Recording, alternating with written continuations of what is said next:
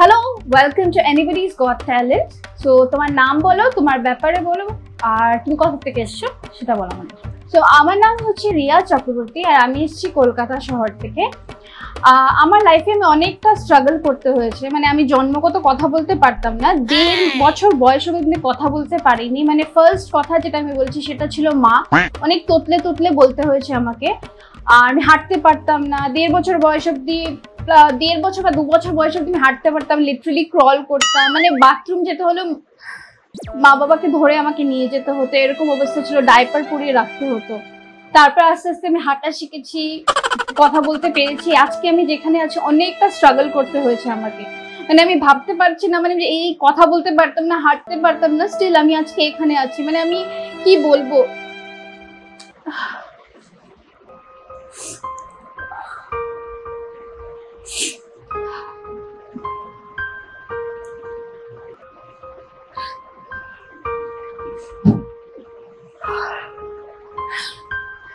তারপর খেতে পারতাম না। মানে মা, বাবা ওরা কত কষ্ট করে আমাকে চামচ দিয়ে খাইয়ে খাইয়ে দিত। মানে আমি সলিড ফুড তো খেতেই পারিনি। দেড় দু বছর অব্দি লিকুইড খেতে হতো। মানে জাস্ট দুধ খেয়ে খেয়ে আমাকে বেঁচে থাকতে হতো।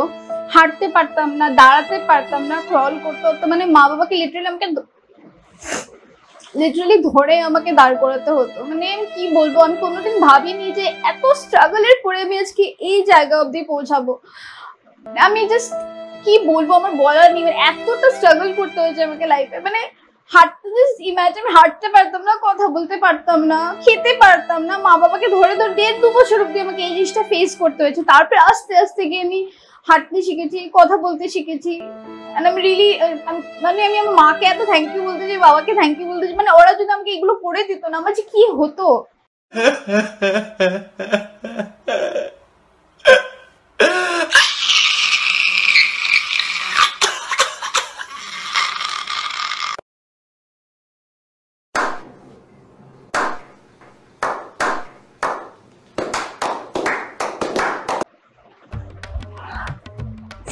মানে তোমার স্টোরিটা শুনে এতটা টাচড আমি মানে কি বলব? মানে একটা মানুষ এতটা স্ট্রাগল করে আজকে তুমি এখানে এসছো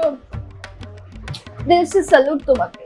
তো আজকে আমাদের সাথে শেয়ার করো তুমি কি করতে চলেছো তোমার ট্যালেন্টটা কি তুমি আমাদেরকে সেটা দেখাও।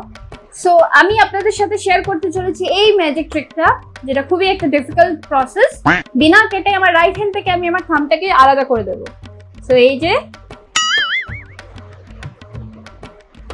ও মাই গড আমি ভাবতে পারছি না, এত ভালো একটা ট্যালেন্ট আমাদের সামনে আজকে এসছে। এত দারুণ একটা জিনিস তুমি আমাদেরকে করে দেখিয়েছো মানে রিয়েলি ইটস ওয়ান্ডারফুল তুমি ডিরেক্টলি ফাইনালে যাচ্ছ, তোমাকে আর কোনো রাউন্ড করতে হবে না, তুমি ডিরেক্টলি ফাইনালে যাবে। চলো, তোমার জন্য আজকে সবাই মিলে আমরা ওর জন্য একটা ক্ল্যাপ করি।